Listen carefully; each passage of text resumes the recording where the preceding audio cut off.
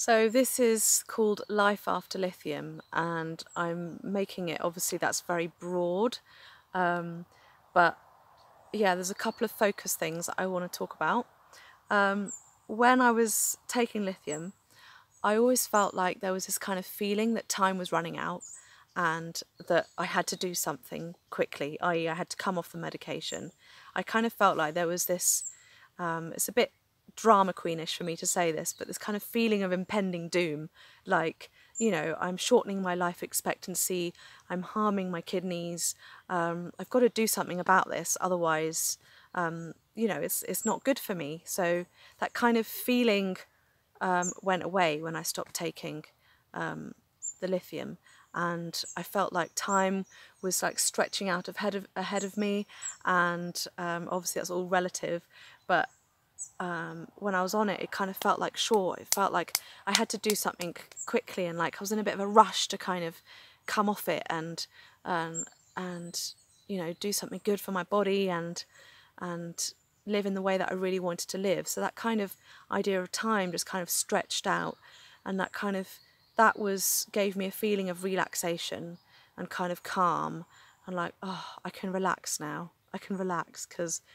I'm not always concerned that this drug is doing me harm. Um, and I've I've put the word connection. Um, I've talked about this before in other films relating to coming off lithium and and how um, basically I was able to connect internally with my emotions, my feelings, my sensations inside my body, um, I could connect with the world around me in a different way, um, in nature, with other people, um, with my family, with my friends.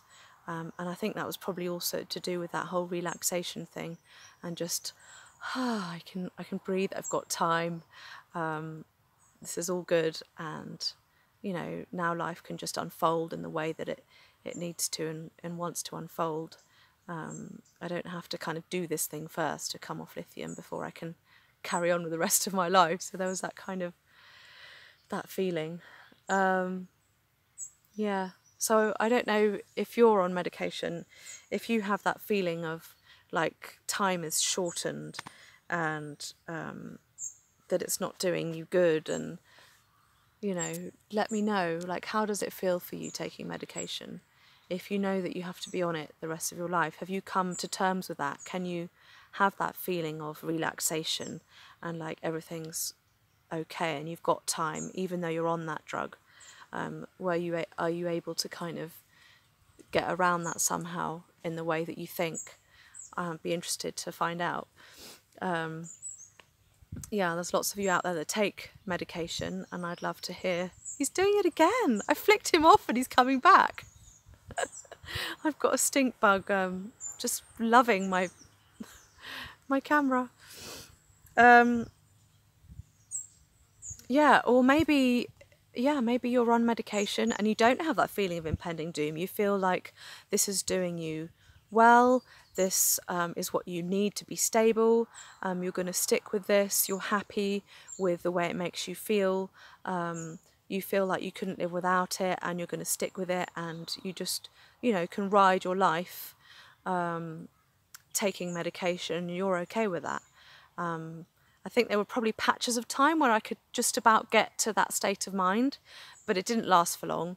And um, you know there, there were times when I knew that I wasn't ready or I couldn't yet try coming off lithium again or something and I'd just be like, okay, Joe, just relax, you know, just be calm about this, and um, it's all alright, and we'll just come back to it when the time comes. So yeah, I always felt like I was like coming back to it and and finding another way, a new way to come off um, lithium successfully.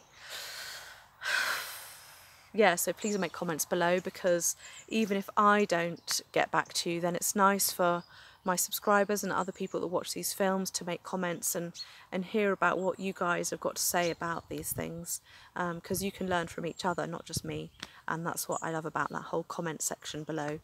Um, people write essays, they write all sorts of things, and, um, and it's really good to kind of put things out there um, for you not to be hidden away in, in your own life and to, to connect with other people. So that's really nice.